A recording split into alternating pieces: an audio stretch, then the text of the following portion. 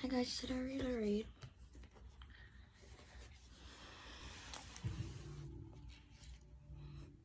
Because he's worthy.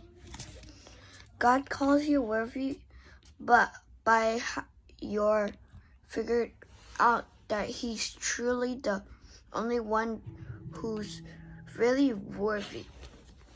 It's only because of his worthiness that you have value in your worth in the first place. Revelations 4:11 says, "Worthy are you, your Lord and God, achieves glory and honor and, and power.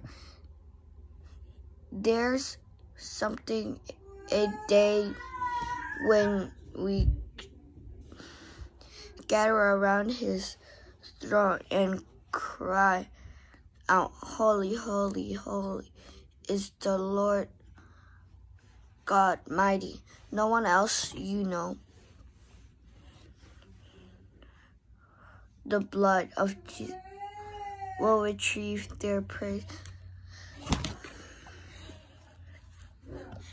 Many people have been made worthy by the blood of Jesus, but he's the only one who will get our total aggression. Why? Because he created everything. He's the ultimate author of everything. Is only because of him. He's alone. God, it, he's a, he is alone. God, and for that reason, he's alone. Is worthy of our eternal praise.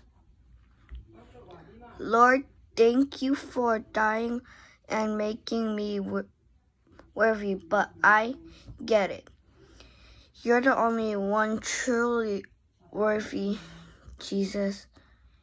Amen. Bye, guys. Have a day. God bless you. Have a nice Sunday.